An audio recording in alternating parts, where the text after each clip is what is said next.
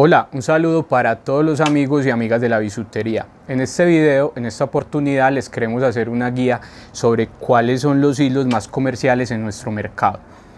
Los hilos para hacer pulseras más comerciales eh, usualmente son denominados como por nacionalidades. Vienen muchas, usualmente clientas preguntando por hilo chino, hilo coreano, hilo taiwanés, hilo japonés, una cantidad de denominaciones y países que a veces pensamos vamos a necesitar un mapa mundi a la hora de ir a comprar hilos para hacer pulseras pero esto lo podemos simplificar mucho más ¿cómo?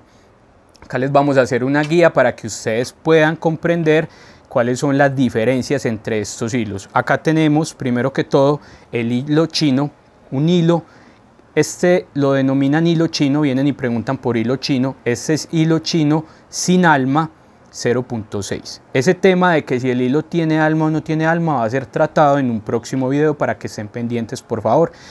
Bueno, este hilo 0.6 es un hilo delgado que no tiene alma como ya lo mencioné y que es lo bueno que este hilo se puede ensartar fácilmente con la mostacilla checa.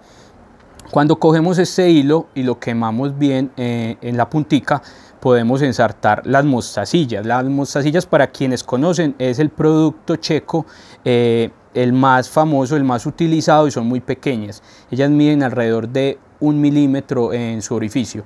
Mire cómo la ensarté de fácil, ya previamente habíamos pasado todas estas, pasan muy fácil y se pueden hacer pulseritas delicadas muy bonitas como esta.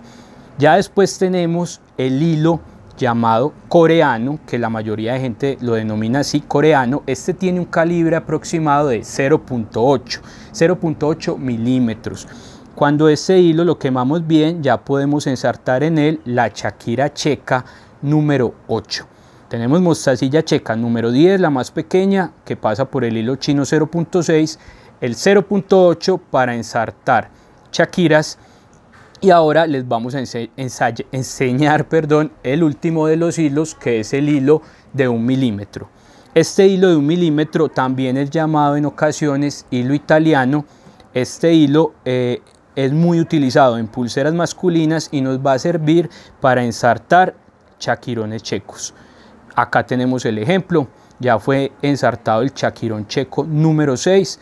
Entonces les estamos dando un referente adicional a nuestros clientes o en general a las personas que trabajan la bisutería, que es el hilo de determinado calibre para qué se utiliza. Y mejor para que no nos enredemos denominarlo por su calibre. 0.6 0.8 y calibre 1 así podremos estandarizar y entender mejor este tema de la bisutería y hacerlo más sencillo Muchas gracias a todas las personas que ven estos videos, que nos siguen en nuestro perfil de Instagram y vamos a estar generando unas nuevas guías, unos nuevos videos tutoriales aparte de nuestras clases en vivo que son transmitidas todos los viernes a las 3 de la tarde. Les vamos a seguir presentando estos pequeños videos intentando darles eh, algunos tips o información adicional para que puedan trabajar eh, este tema de la bisutería de una forma más fácil. Muchas gracias.